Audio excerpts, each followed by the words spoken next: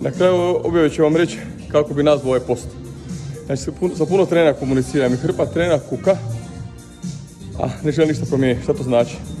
A to radi i u drugim strukama. Znači, radiš u Zagrebačkoj banci, ne je Zagrebačka banka, ovdje radi u PBZ.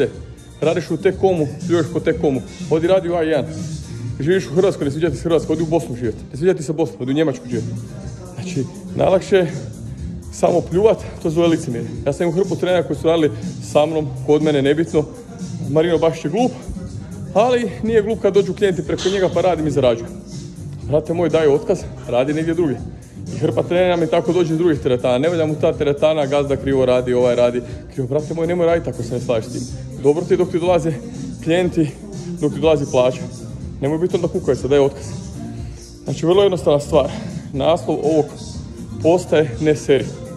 Ili radi ili promijeni, nemoj licemjerje, e, pogotovo iza leđa. To je ono što ljudi kod nas rade, najlakše kukat, a ništa ne mijenjati. Ne sviđa ti se.